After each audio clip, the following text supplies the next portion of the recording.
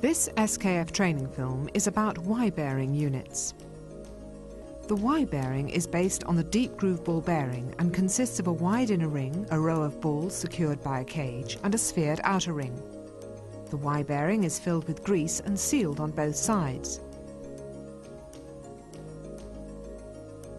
The sphered outer diameter of the bearing fits into a matching sphered bore in a range of housing types, which can be made of cast iron or pressed steel.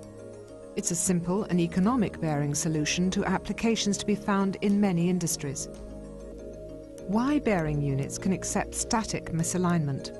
Up to 5 degrees are permissible in maintenance-free applications, reducing to 2 degrees when relubrication is required. Adapter sleeve mounting can be used for shafts which have a reverse direction rotation. The most common cast housings are the two-bolt hole pillow block, the four-bolt hole flange housing, the two-bolt hole flange housing and the take-up unit. There's also a wide variety of pressed steel housings. Y-bearing units, because of their simple, robust design with excellent sealing, are to be found in agricultural equipment, screw conveyors and fans, where the loads are relatively light and speeds moderate.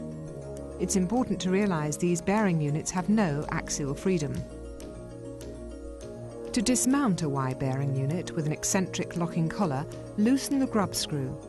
By using a hammer and drift, unlock the eccentric collar, and with the bolts removed from the housing, the unit can now be removed from the shaft. The dismounting of Y-bearing units located by grub screws is even simpler. After loosening the two grub screws with the housing free, the unit can be removed.